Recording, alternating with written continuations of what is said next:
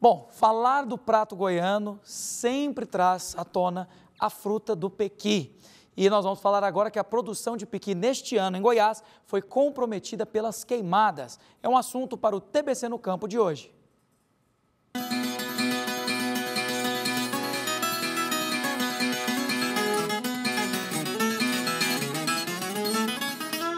Olá amigos, sejam bem-vindos ao TBC no Campo. Pessoal, o piqui é um fruto típico do cerrado, cuja nomenclatura vem do tupi, significa pele espinhenta. O piquizeiro é uma árvore que pode chegar até 12 metros de altura e suas folhas são bem grandes, cada uma composta por três grandes folíolos. No interior do fruto existe um caroço revestido por uma polpa comestível, que é macia e amarela. Embaixo dessa polpa há uma camada de espinhos muito finos, por isso, ao roer o piqui cozido, é preciso ter grande cuidado. A época da produção desses frutos é de novembro a janeiro. Ou seja, agora é a época do pequeno cerrado brasileiro.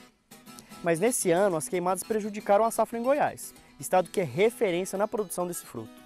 O estado registrou mais de 10 mil ocorrências até 25 de novembro, que é 10% a mais do que o registrado no ano passado.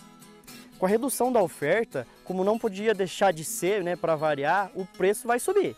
Os catadores estão recebendo R$ 30 pelas caixas com 30 quilos de pequi o triplo praticado né, no mesmo período de 2019.